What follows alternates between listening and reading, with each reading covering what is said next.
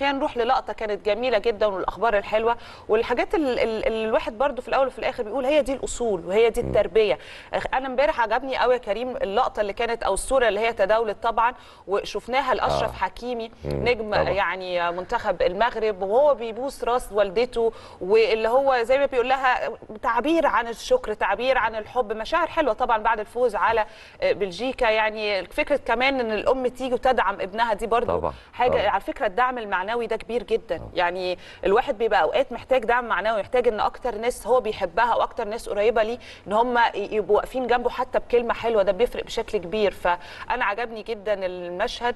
وإحنا عندنا المشاهد دي دايما. يعني أنا مش بقارن ولكن ما بتلاقيش قوي ده في الغرب. يعني إحنا دايما بنتكلم أو بنبقى متمسكين بالحتت دي الأهالي طبعاً، العيلة طبعاً. هم أكتر بيحطوا لزوجاتهم بيحطوا لأولادهم لكن فعلا فكرة هنا الأهالي أنا بشوف ده مشهد حلو من الأم إن هي تكون جداً، هناك جداً. ومن الابن إن هو يسيب كل حاجة وقت الاحتفالات ويروح لأمه عشان يبوس راسها في في المدرجات.